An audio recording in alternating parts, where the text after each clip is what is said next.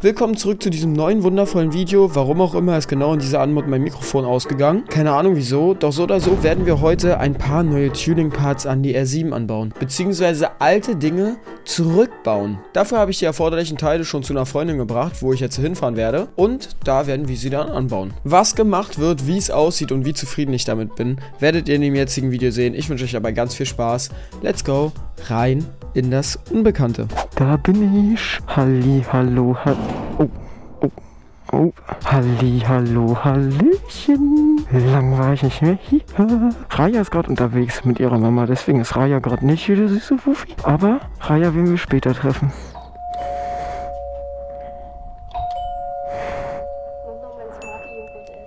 Kannst du ruhig essen. Vorsicht, ich hab Helm auf. Gut. Ist äh, irgendwas in der Garage drinne? Ja.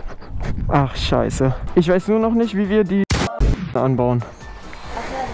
Die, ich habe die dabei, aber ich weiß nicht, wie die Schrauben. Das. Das sind nur vier Schrauben. Ja, ich weiß, aber ich weiß nicht, ob ich die Schrauben habe.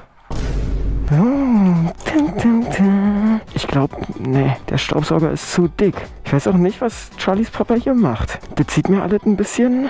Der baut eine Bombe, glaube ich. Das ist die einzige Garage, die ich kenne, wo ich einfach schrauben kann, ohne dass ich Miete bezahlen muss.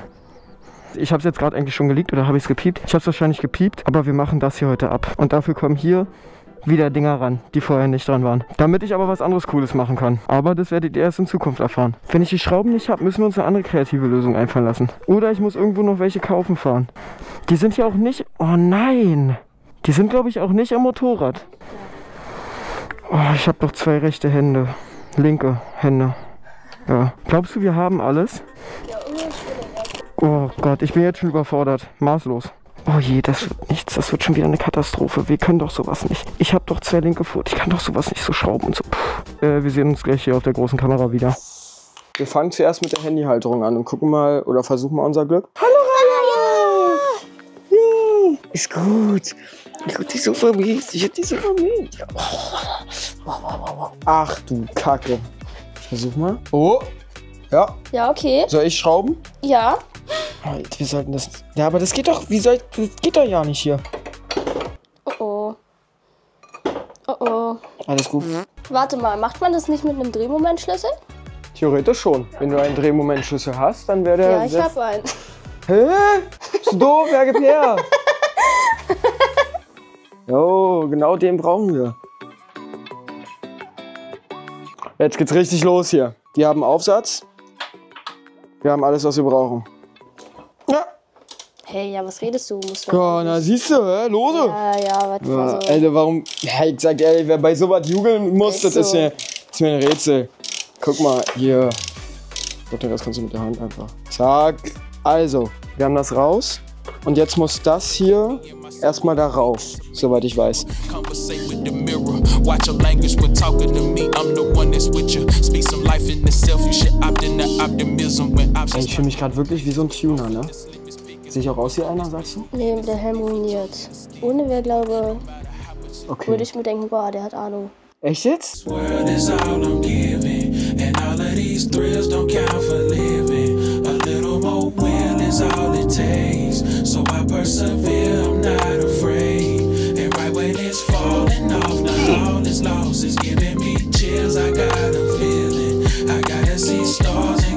Okay, Finale.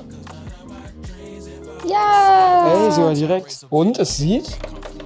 Es sieht gut aus. ja, Oder? ja, her. Ja, finde ich geil. Sag ich ehrlich. Ist ein Upgrade. ja. Ist wirklich ein Upgrade. Ja. Ja. Wir machen jetzt, äh, wo Projekt 1 zu Ende ist, äh, will ich jetzt meine Sozi-Rasten eigentlich ganz gerne anbauen. Problem, ich habe für die Sozi-Rasten die Schrauben nicht. Und wir wissen noch nicht, ob die Schrauben da drin stecken oder ob ich einfach die nicht habe. Wenn ich die nicht habe, haben wir ein Problem. Jetzt rein in der Theorie, Charlie. Ja. Sagen wir, wir schrauben jetzt den Sitz ab und ich habe die Schrauben nicht für die Sozi-Rasten. Dann suchen wir alle Boxen hier durch und suchen nach Schrauben, die passen. Alter, du bist. Wow. Die Frage ist nicht, ob man den Weg schafft oder Sondern nicht, sondern. wie! Ja, so! Es gibt nämlich kein Aufgeben! so, pass auf, Charlie, jetzt Magie. Ich zeig dir jetzt Magic. Magic. Magic. Ja, und jetzt kracht so ein Pfeifzeit gewaltig, wa? Ich glaube, du hast nicht mal, du wirst keine passenden Schrauben finden. Peter, wenn du wüsstet, was ich hier alle Weil für das Problem Schräubchen ist, du habe. brauchst Schrauben, die sind erst lang ohne Gewinde und dann Gewinde. Erst lang ohne Checkst du? Gewinde und dann Gewinde. Glaube ich. Mann, das macht mich jetzt schon wieder richtig deprimierend, ne?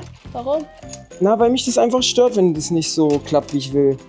Nur weil ich die Schrauben nicht habe. Aber ich habe auch, ich habe zu Hause wirklich geguckt, eigentlich hebe ich bei Zeig mal, sowas, ob die Dicke hier passt. ich hebe bei sowas immer alles auf, aber hier passt es einfach nicht. Nee.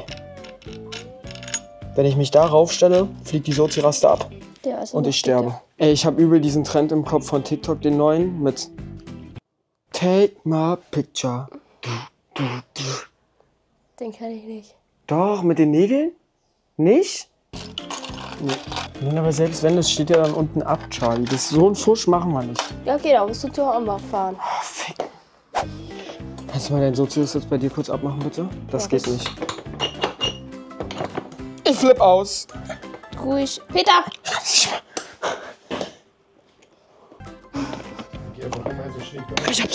Das hier. Das ist nicht richtig so. Können wir kurz mal bei dir gucken? Aber ich hab von der Abdeckung auch keinen so einen Zwischenschutz mehr. Ich kann das nicht mehr. Das ist doch, das doch nicht wahr. Vorsicht. Ja, das kracht und pfeift gewaltig. Ich habe weder das Teil noch das Teil.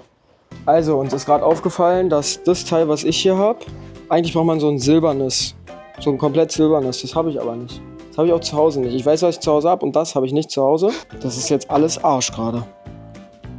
Gut, dann wird das mit dem Sozius jetzt noch nichts. Erstmal. Das macht mir jetzt richtig traurig gerade. Du gebrochener Mann jetzt gerade. Aber naja, gehört dazu, war. Tuning at the finest. Da ist die Handyhalterung. Die ist wundervoll geworden. Sieht bombastisch aus. Dafür haben wir alles andere nicht geschafft. Ich würde sagen, wir sehen uns jetzt gleich wieder, wenn ich mich auf dem Weg zu Nestler mache, um nach den Schrauben nachzufragen. Bis gleich.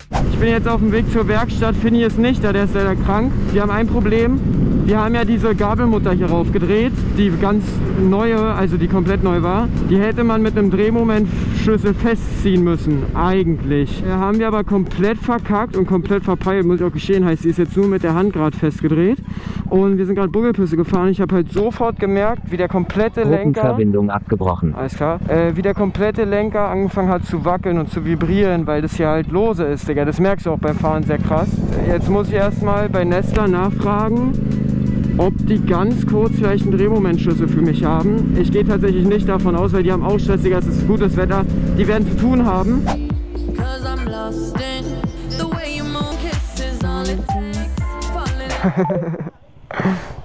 Hallo Mike. Oh, sorry. Ui. Ui, eine R1, die neue. Boah. Da wär ich verrückt. Ich guck mal, ich frag mal nach, ob ich die Schrauben bestellen kann oder ob ich die kriege und was wir mit der Mutter machen. Und dann sehen wir uns gleich wieder. Oh, das P. So, ich bin jetzt schon auf dem Weg zurück. Es ist was passiert bei Nestler. Ihr glaubt es mir nicht. Leider lief die Kamera nicht, warum auch immer. Ich habe die Gabelmutter festschrauben können, also richtig festschrauben können. Problem war, ich saß hier auf dem Motorrad und habe den Ständer hochgemacht, weil das Motorrad stand auf einer Schräge, okay? Und dann ist mir einfach mein Motorrad umgekippt. Das erste Mal. Ich zeige es euch jetzt gleich. Ich halte da kurz an und zeige euch das einmal. Äh, es ist zum Glück nicht viel passiert. Es war auch, also ich dachte, es steht auf dem Seitenständer noch. Ich habe ihn aber scheinbar vorher eingeklappt. Und dann bin ich abgestiegen und plötzlich kommt das Motorrad mir entgegen. Und ich denke so, warte, warte, warte. Es stand auch locker so, es stand glaube ich eine Sekunde ohne Ständer, komplett ohne. Und danach ist es zu mir gekippt einfach, plötzlich. Da, als- also weil der Ständer halt nicht draußen war. Und dann halt so, warte, hä? Wie geht denn das? Dann habe ich es noch minimal aufgefangen. Und dann ist es mir entgegengekommen und ich habe es abgelegt. Und es sind zwei, drei kleine Sachen kaputt gegangen, ein paar kleine Kratzer, bisschen scheiße gelaufen, aber gehört halt dazu, kracht und pfeift. Ja, sonst die Gabelmutter habe ich festschrauben können und wir sehen uns im Laufe des Videos jetzt gleich nochmal wieder, weil am Freitag kommen die Teile, die ich bestellen musste für den Sozius-Sitz, damit man das wieder festbauen kann. Die kommen jetzt am Freitag, die Teile, die musste ich neu bestellen lassen, weil ich, ich hab's, ich schwöre, ich hab's sie aber auch nicht. Also ich habe sie auch nie bekommen, keine Ahnung, wo die sind. Auf jeden Fall ist sie mir, ich bin abgestiegen, der Ständer war halt drin und dann ist sie mir hier entgegengekommen. Ich habe sie doch gefangen und dann abgelegt und dann lag sie quer auf dem Boden vor Nestler zum Glück, hat's aber niemand mitbekommen. Ich weiß nicht, wie das sein kann, niemand hat's mitbekommen. Ich so, oh nein, habe ich gesagt. Ja, jetzt ist hier abgeschliffen, abgeschliffen. Dann, und das hier tut am meisten weh am Motor, Digga. Ist hier so ein bisschen, aber so ganz minimal, nur trotzdem scheiße. Ist halt abgeschliffen. Hier am Ständer ist abgeschliffen. Und das hier, das hier hat am meisten abgefangen. Und am Heck ist legit nichts.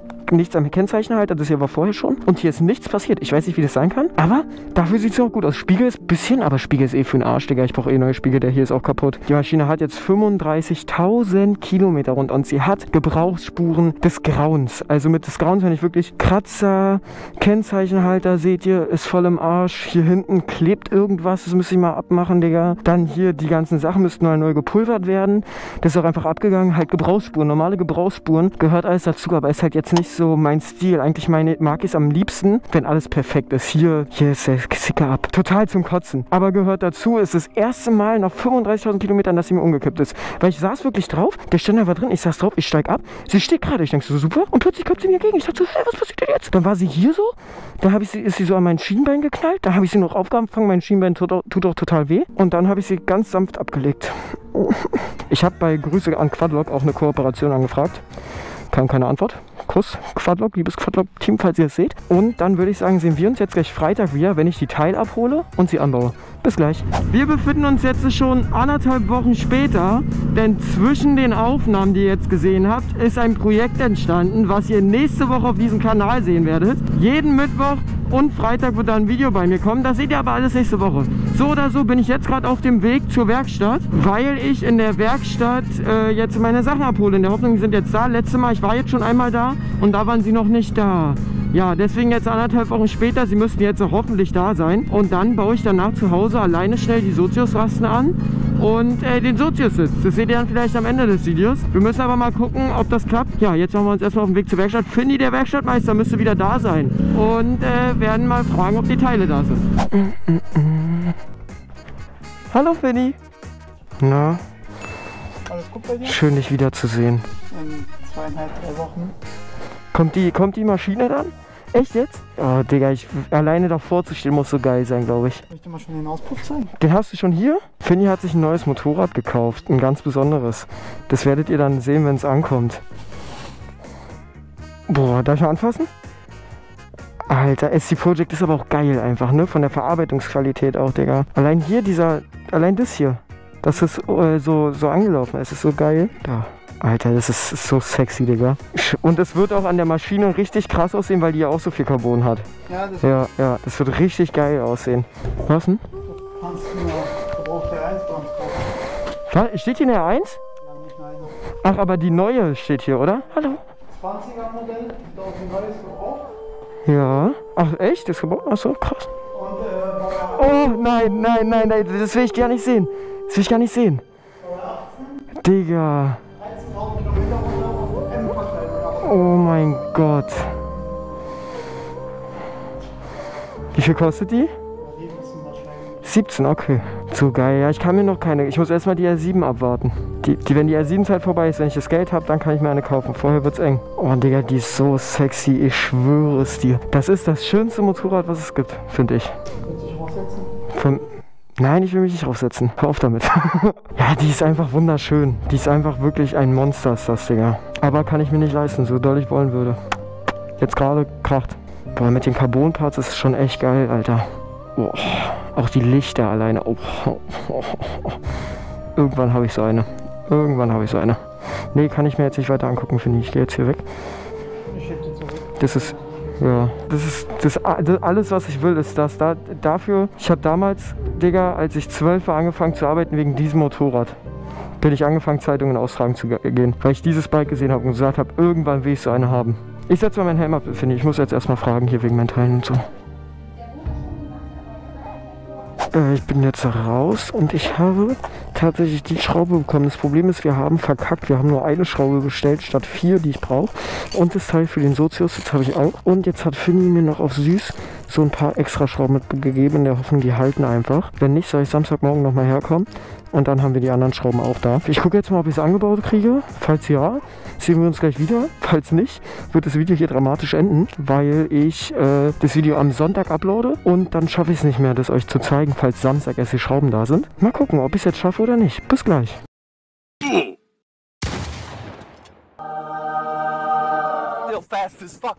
You ain't never seen, so you won't forget it. Hey, no comparison. You anything but regular, it's evident. You my healing, you my medicine. You knew me before I knew me, you really been for me ever since.